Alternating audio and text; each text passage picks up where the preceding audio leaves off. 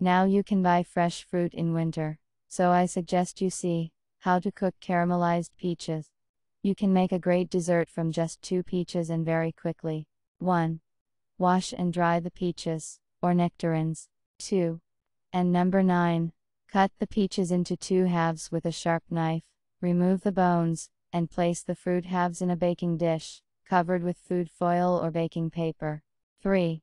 Sprinkle the peaches generously with sugar, and coarsely chopped almond kernels. 4. Bake for about 30 minutes at 200 degrees with convection. 5. And number 9.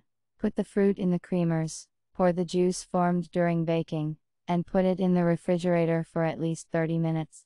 Serve dessert cold. Bon appetit!